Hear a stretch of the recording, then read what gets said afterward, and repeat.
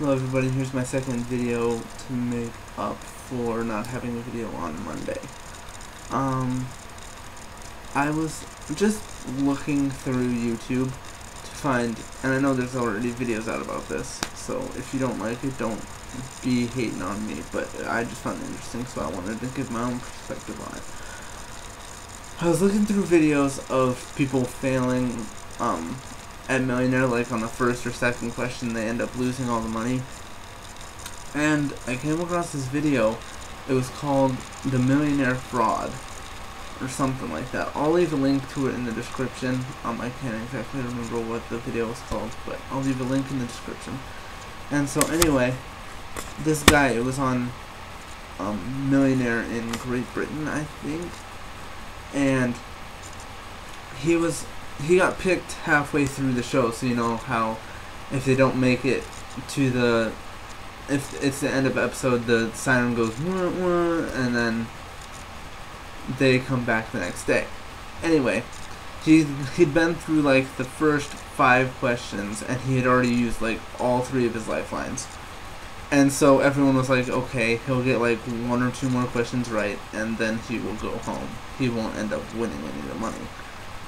Well, this guy, he had um, an accomplice in one of the fast finger seats, and um, whenever, and he was going about the answering the questions in a really weird way. He would be like, well, it could be A, then again it could be B, or it could be C, perhaps it's D and he would go through that methodically with each and every question. And his friend or his wife, because his wife helped him out too sometimes, because the guy that was helping him out on the sidelines didn't know the answers to the questions. But his wife helped him out on like a couple of the questions. What they would do is the second he would say A, B, C, or D, and the second that he said the correct one, they would cough like, and so then he would know that that was the correct answer and he would get it right. Well, the producers of the show kind of gave him the benefit of the doubt. They're like, you know, it could be anything. It could be just coincidence, blah, blah, blah. Well, they said if he would have probably stopped at the hundred hundred dollar question, hundred thousand dollar question, then they wouldn't have known. They wouldn't uh, have probably accused him of anything. But he did this all the way up to the million and won the million. Now, um, the next day, after they had taped the show, they call him up and they're like, "We have some discrepancies with the money, um, because we think there might have been cheating while you're on the show." And he's like, "Oh, okay." Like he was like, "Okay, like I don't care." And um, so they revoked his check he spent 18 him, his wife, and their accomplice on the side spent 18 months in jail and had to pay a fine of like some thousand dollars. And um, yeah, I just like that is the dumbest thing I've ever heard. Like they're gonna notice that this guy is coughing after every correct answer. It doesn't. Oh my goodness, how stupid. But like, I can't believe someone would do that. You know, I mean, yes, it's a lot of money, but don't you want to earn it honestly and not by cheating? You know, because now he was gonna be infamous for getting as far as he did, for even getting on the show, even you know, and that's a positive thing to be infamous for. Now he's infamous for cheating. And that's just terrible. Like, how stupid can you be? Um, I don't know.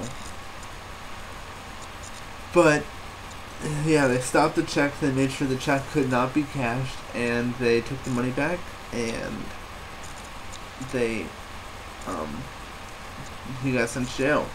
Now, it was funny because the mo- they, they interviewed, like, this video that I saw, they interviewed all of the, like, producers of the show and everything and they were like, usually when someone wins the million dollars, we're like totally ecstatic in the in the control room, like we're freaking out because we're so happy for them. But when he won it, they were like clapping softly and being like, okay.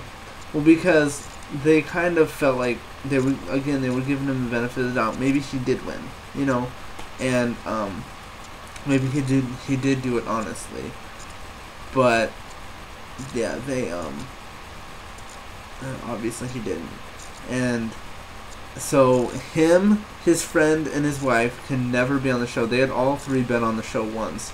He ended up getting farther than his wife did by cheating, but um yeah, so his wife can never audition for the show again. His friend that was the accomplice can never audition for the show again, and he can't ever audition for the show again.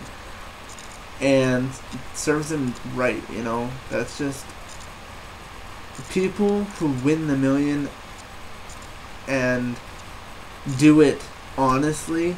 They have worked their butts off. They have studied their butts off to try and get all this money, and for someone to cheat like that, that's just that's just terrible.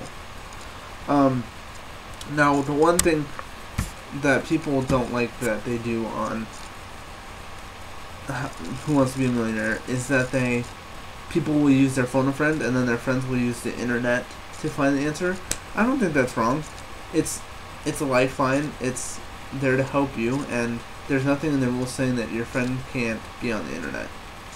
Um, Speaking of videos, I was watching John Carpenter's video. They have the entire run of all the questions that he answered and everything, and it was so funny. I I personally didn't see the episode, and when it first aired, but um, he was on the million dollar question, and he was like, "I would like to use the lifeline," and he's like, "I would like to call my dad," and so like, AT&T calls his dad, of course, and he's like I really don't need help with this question, but I just want to let you know that I'm to win the million dollars.